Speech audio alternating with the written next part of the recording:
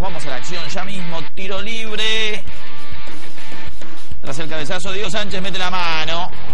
El árbitro Jorge Baliño marca penal para Aldo Civi y expulsa al jugador de Boca Unidos. Penal. Pateaba Lamberti, bien por Gastón César. La pelota pega en el palo y se salvaba el arco del equipo correntino. Aguirre. Va a buscar la devolución.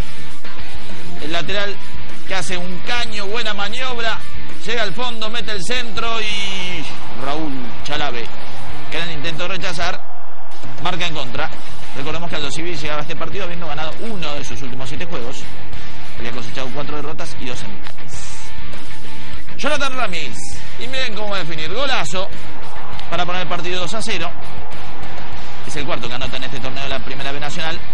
Ya le había convertido Atlético Tucumán a Almirante Brown y a Boca Unidos en la derrota 3 a 1 en Corrientes. Aquí le volvió a.